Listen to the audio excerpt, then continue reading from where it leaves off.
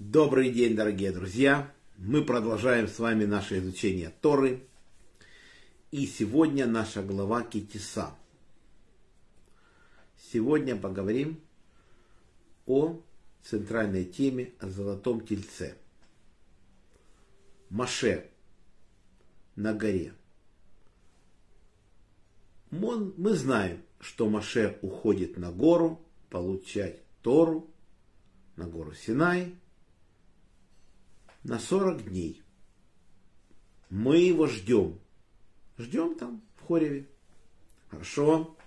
Маше на горе получает заповеди, получает Тору, работает, хлеба не ест, воду не пьет. Ждал народ Маше, ждет. И вот посчитали, что прошло 40 дней. Наши мудрецы просчитались на какие-то часы. И забеспокоился народ. И тут Сатан сумел нас соблазнить. Он взял нам и показал нам изображение гроба Маше. И вы встрепенулись, мы поняли, что остались одни. Начали что-то требовать. Кончилось тем, что Рев которые живут на краю стана, начали волноваться, подняли целое восстание и потребовали с Агарона дать божество. Агарон думает, что же делать. Получается, если что-то сейчас сделает народ, то Всевышний весь народ уничтожит и всем конец. И он решил каким-то способом протянуть время. Он говорит, соберите кольца, там, украшения с ушей ваших жен, дочерей, сыновей, соберите. Он хорошо знает, что женщины так просто своими драгоценностями не расстанутся, не дадут. Это будет долго, Маше вернется, и все будет хорошо. Но не тут-то было. Написано, что весь народ сняли свои украшения. Это были мужчины. Своих ушей поснимали какое-то золото, все сдали. И он решил тянуть время, долго обрабатывать, но не тут-то было.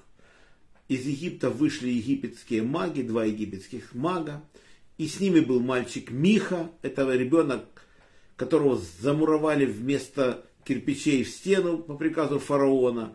В общем, когда мы не успевали делать кирпичи, количество кирпичей нужного для строительства – сооружений в Египте, то фараон сказал, буруйте туда детей еврейских. Вот замуровали. Маше его спас. И вот теперь этот Миха с этими египетскими магами колдовством быстро изготовили этого тельца.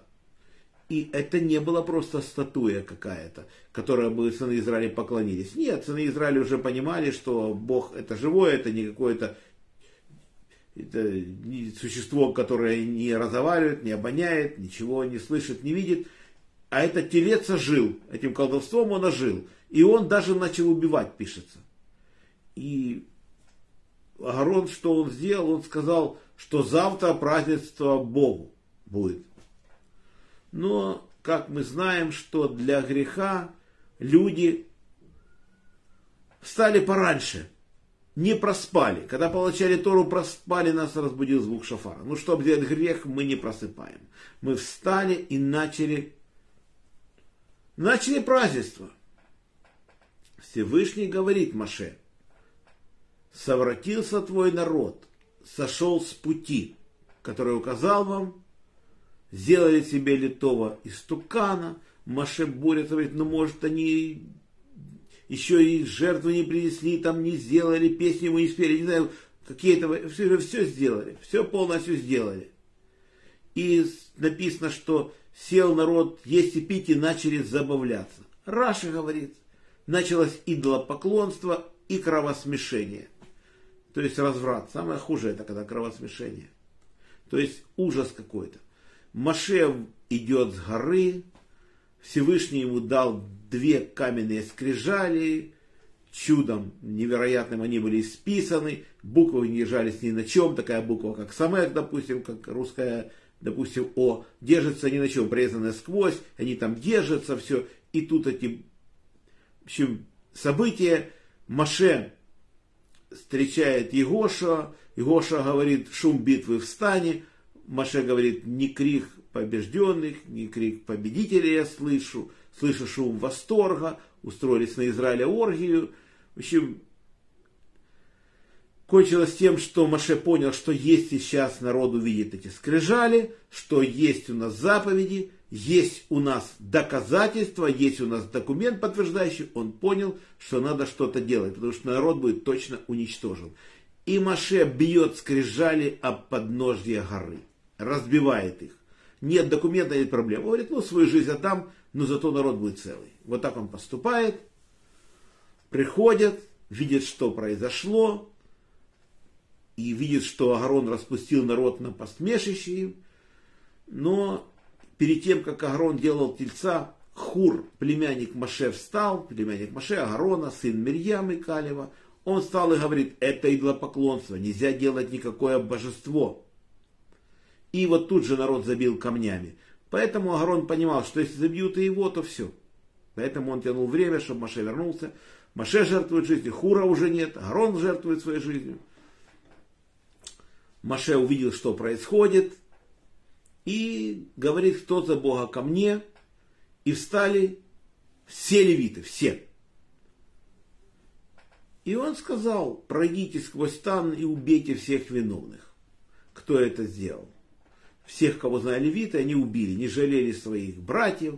Раши пишет это братья по матери, то есть левиты, если скажешь левитов братьев, то нет, то левиты все служат Всевышнему, ни один из них не виноват. То есть э, своих родственников перерезали около трех тысяч человек. Потом Маше взял тельца, пережег его в огне, растел в порошок и пустил его в ручей, стекающий из горы, и заставил весь народ пить. Потому что они знали всех виноватых. Кто виновен, тот умирал страшной смертью, кто не виновен, оставался живой. Я не знаю, сколько человек умерло. Один раз я читал комментарий, что 24 тысячи, но эту книгу я найти не могу. Это было много лет назад, я читал лет 20, найти не могу эту книгу. Где-то найду, скажу, какая это книга. В общем, есть такое мнение, что как в Шитиме на последней стоянке в пустыне, когда поклонились Бальпиору, тоже было 24 тысячи. Вот 3 тысячи от Тельца, 24 тысячи, допустим, если здесь, 27 тысяч человек. Вот так вот. В общем, они это сделали, и Маше сказал левитам, что вы посвятились сегодня и будете теперь служить, потому что вы не жалели ваших родственников, и теперь вы заслужили, у вас будет теперь священнослужение вашего колена, будут вас священники, будут левиты. В общем, теперь первенцы больше жертвы приносить не будут. До этого жертвы строили жертвники там, где считали нужным, и они были священнослужителями. После этого у первенцев эта служба была забрана, и теперь левиты служат вместо первенцев. Так мы узнали о грехе Золотого Тельца немножко. Вот такое горе мы сделали сами себе. И Маше выпросил прощения, Всевышний сказал, что я простил, но если будет нужно, я все равно им припомню этот грех. То есть Тора нам пишет, что припоминает вину отцовых детям и внукам третьему и четвертому поколению. Если мы не грешим, никакая вина отцов нам не припоминается. Но если мы сами грешим, то вспоминаются грехи отцов и дедов, еще и прадедов, и нам добавляется. Вот так. Бывает человек вдвоем, два человека сделали что-то плохое, одному есть сильное наказание, другому нет, потому что его предки, может, не грешили, а другого грешили, и получается, он больше пострадал. Такие вещи бывают. Это, конечно, я по-простому говорю, но, конечно, в жизни зря Тора ничего не пишет. Все. А на этом наш сегодняшний урок заканчивается. Урок был дан за поднятие души Мойша бен Давид, Берта бат Исраэль памяти Яков бен Нахум, Владимир бен Григорьев, Павел бен Ефим, за здоровье Светлана Батклара, Шимон бен Ицхак, Борис бен Мария, Анна бат Ривка, Полина Пер бат Соня Сура, Лена бат Клара, Женя бат Ида, Анна бат Елена, Ефим бен Эстер, Двойра бат Мирьям, Моисей бен Ева, Ирина бат Двойра, Йосиф бен Раиса, Инесса бат Маэль, Евгений бен Берта, Евгений бат Ита, Фера бат Анна, Геннадий бен Елена, Мойша бен Маня, Елена бат Инесса, Ольга бат Светлана, Йосиф дан бен Сара, Таня бат Фрида, Ида бат Рива, Малка Рут бен бат Юлия бат Белла, Яков Йосиф бен Рахель, Шимон бен Мира, Фейка бат Берта, Ася бат Года, Марк бен Нина, Йосиф бен Фрума, Леор бен Клара, Рафаэль бен Клара, Хана Цепора бат Ида бен Хая Авива, Ефим бен Соня, Майя бат Фаина, Алексей бен Ольга, Гая бат Сарит. Мазал Парнаса Сгула Ирина Батуи Арона Ребенуи. Закрош Шедух Арона Ребен Двор Радиз Бен Ахума Вигаль Бацара Хана Батаврам Рафаэль Эриэлей Бен Лариса.